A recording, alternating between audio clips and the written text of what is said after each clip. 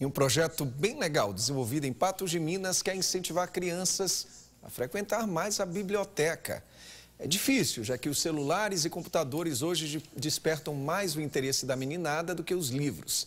Mas é sempre bom iniciativas como estas. Afinal, ler nunca é demais.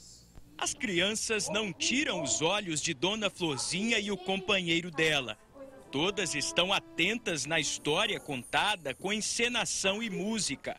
A contação de histórias, ela tem um, um fundo que traz a cultura para as crianças, é, um pouco da fantasia também, né?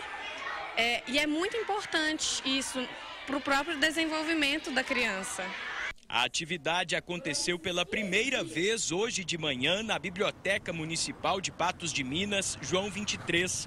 Foi o início de um projeto de incentivo à leitura desenvolvido por estudantes universitários. A gente foi escolheu a Biblioteca João 23 por todos os integrantes da, da empresa acadêmica, né, ter formado sua formação literária aqui na biblioteca. Muitos da gente era incentivado pelos professores para estar vindo à biblioteca e hoje em dia a gente sente que essas crianças não estão tendo é, tanto contato com as bibliotecas, mas talvez até pelos equipamentos eletrônicos, pelas redes sociais, estão se distanciando dos livros, das bibliotecas. A intenção dos criadores do projeto é reservar um dia para se contar histórias na biblioteca todo mês, com a participação de alunos de escolas públicas e particulares. O diretor da biblioteca se animou com a proposta. As crianças vão tirar disso é o amor pelo livro, o amor pela literatura, né, pelo conhecimento. Então, é, para nós é uma honra muito grande ter essa parceria.